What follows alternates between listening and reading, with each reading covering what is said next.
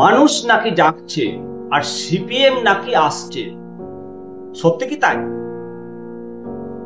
Comment বক্সে কিন্তু প্রচুর কমেন্ট আসছে। যাচ্ছে বলতে সিপিএম কি তাহলে মানুষকে সজাগ করছে?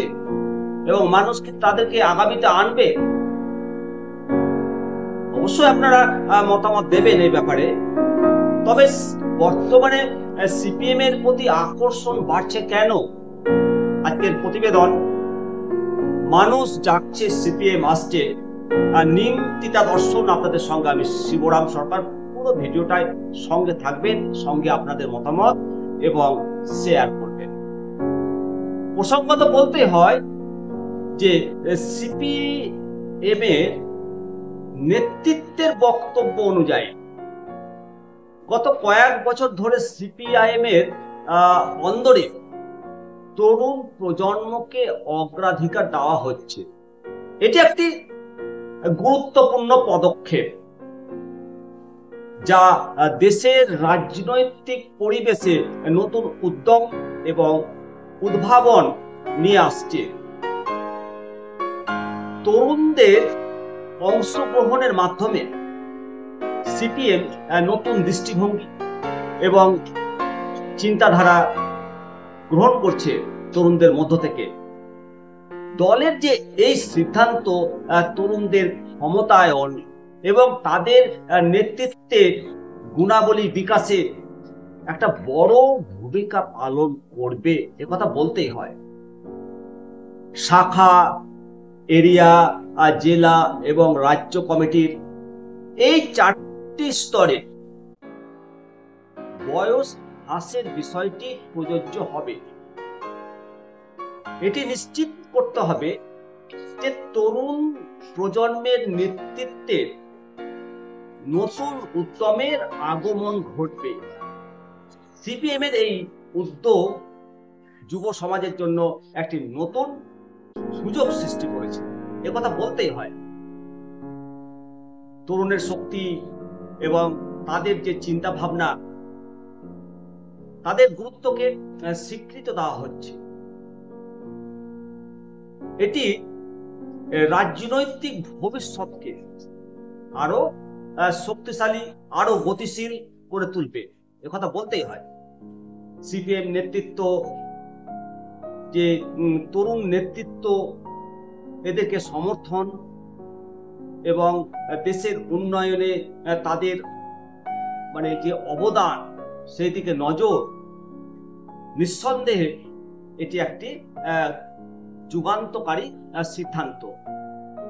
কেননা সিপিএম মানে সাদা চুল।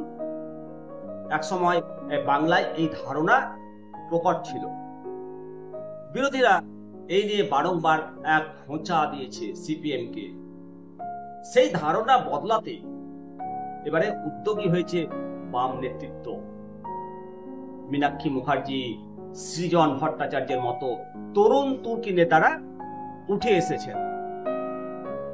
এবার এই বিভিন্ন কমিটিতে বয়স কমানোর লক্ষ্য নিয়েছেন বিমান বসু এবং মোহাম্মদ সেলিম সাহেবের মতো হেভিওয়েট নেতৃত্ব।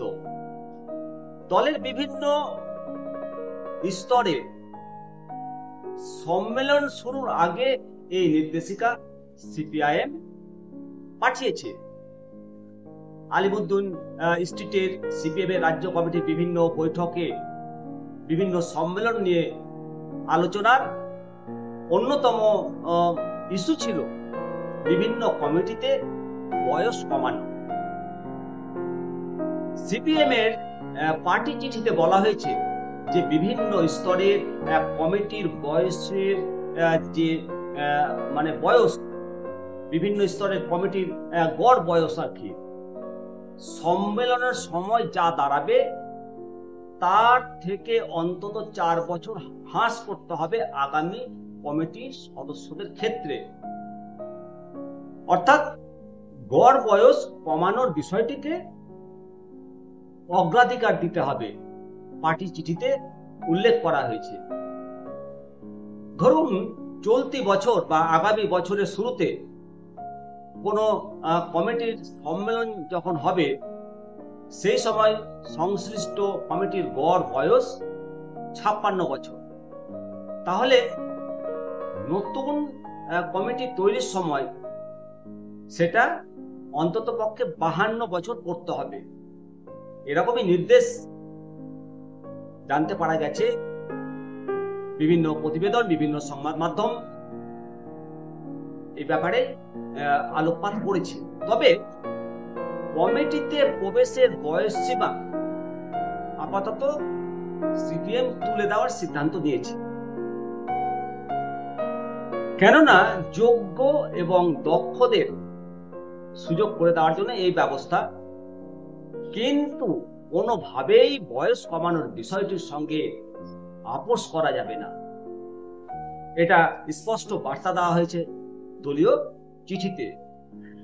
বর্তমানে সিপিএম এর বিভিন্ন কমিটির বয়স সীমা এরিয়া কমিটিতে গড় বয়স বর্তমানে পঁয়ষট্টি, সেখানে জেলা কমিটিতে গড় বয়স সত্তর বছর, আবার রাজ্য কমিটিতে গড় বয়স তার থেকেও বেশি। বর্তমানে রাজ্য কমিটিতে বাহাত্তর বছর গড় বয়স। সিপিএম নেতৃত্বের বক্তব্য গত কয়েক বছর ধরে সিপিআইএম এর অন্দরে তরুণ প্রজন্মকে অগ্রাধিকার দেওয়া হচ্ছে আর তার সঙ্গে সাজস্য রেখেই দলের এই সিদ্ধান্ত। সিপিএম নেতৃত্বের বক্তব্য, তরুণ প্রজন্মকে জেলা কমিটিতে অগ্রাধিকার দিতে হবে। সিপিএম ইতিমধ্যে আবার জানিয়েছে যে কমিটির সদস্যদের অন্তত থার্টি পার্সেন্ট অনূর্ধ্ব পঞ্চাশ বছর হতে হবে। কমিটির সদস্যদের অন্তত কুড়ি শতাংশ অনূর্ধ্ব চল্লিশ বছর হতে হবে। জেলা এবং এরিয়া কমিটিতেও এই বিষয়গুলো বিবেচনায় রাখতে হবে। এরিয়া কমিটিতে অন্তত একজনের বয়স একত্রিশ বছরের কম রাখতে হবে। অনধিক চল্লিশ বছরের বয়সীদের এরিয়া কমিটিতে অন্তর্ভুক্ত করার বিষয়টি বাড়তি গুরুত্ব দিতে হবে।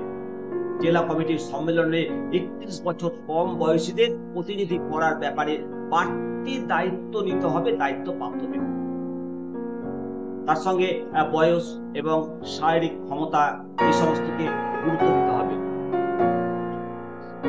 আলিমুদ্দিন স্ট্রিটে সিপিএম এর রাজ্য সম্পাদক মোহাম্মদ সেলিম সাহেব স্পষ্ট বার্তা দিয়েছেন যে বয়স বিধি মানার বিষয়ে কোনো আপোষ যেন করা না হয়। তাহলে তরুণদের হাতে নেতৃত্বের ব্যাটন তুলে দিতে অসুবিধা হবে। ফলে কোনোভাবে বয়স বিধি নিয়ে কেউ যেন হালকা মনোভাব না দেখান সেটা স্পষ্ট করেছে সিপিআই রাজ্য সম্পাদক মোহাম্মদ সেলিম।